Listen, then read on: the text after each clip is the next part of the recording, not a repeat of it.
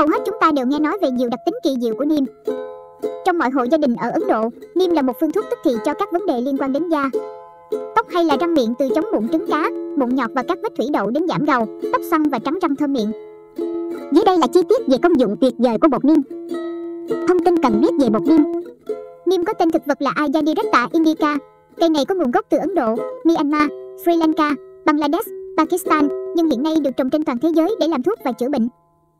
Tất cả các bộ phận của niêm đều có giá trị y học và rất hữu ích cho việc điều trị các loại bệnh khác nhau. Đặc tính kháng khuẩn, khử trùng, chống vi trùng và chống viêm của niêm làm cho nó có giá trị đối với sức khỏe con người. Do đó, có nhiều chiết xuất được làm từ lá niêm như là bột lá niêm và dầu lá niêm. Công dụng tuyệt vời của bột lá niêm. Niêm được biết đến rộng rãi với nhiều hợp chất chữa bệnh và lợi ích y học.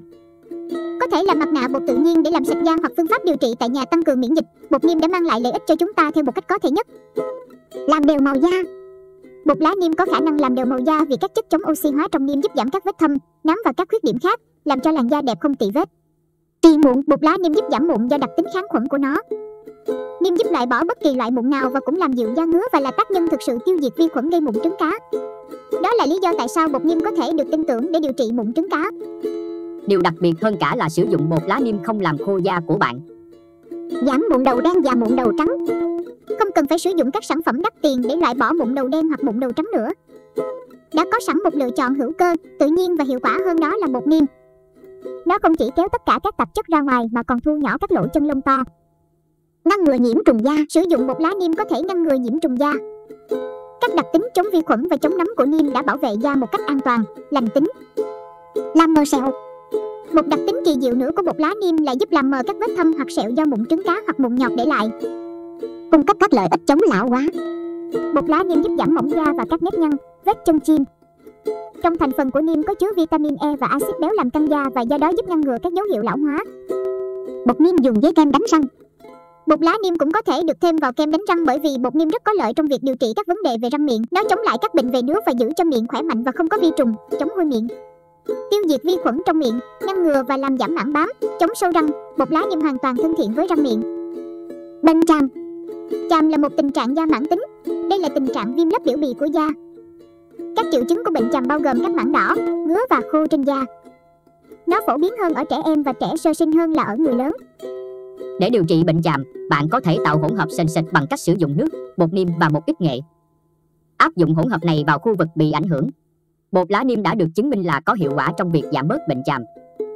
Trị gầu Gầu là vô hại nhưng có thể làm hỏng mái tóc quyến rũ của bạn và khiến bạn xấu hổ.